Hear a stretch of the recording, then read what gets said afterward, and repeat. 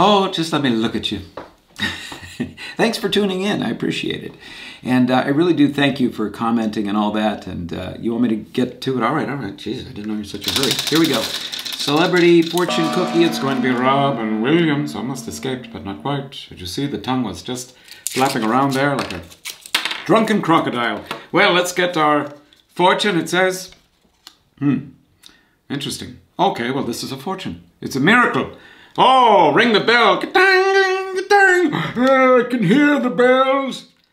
Frequent conversations will fill your heart with joy. Frequent conversations will fill your heart with joy. That means you're going to have frequent conversations, and they'll be so pleasant they'll fill your heart with joy. And if your heart's in good condition, you won't have to go to the ER. How about that? Oh, exciting.